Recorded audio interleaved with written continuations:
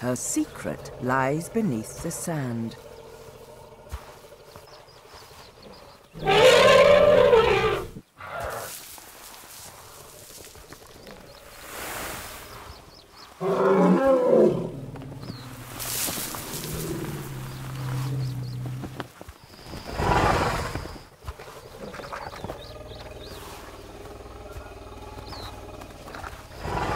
She isn't digging alone.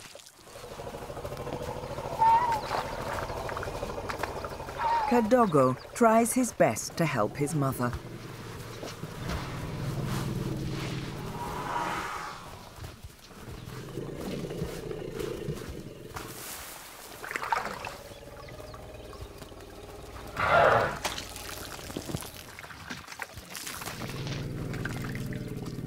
Finally, Nala reaches what she's looking for.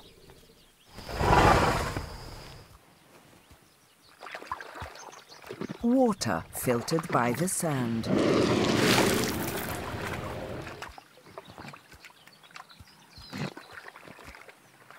As soon as it's taken, it's replenished.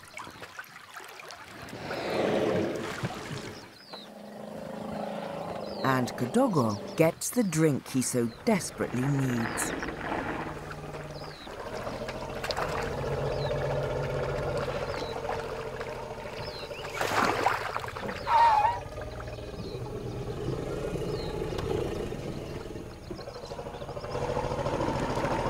They're not the only ones drinking.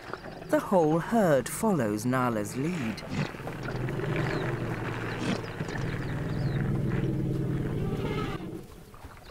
Digging wells of their own, and all happy to share.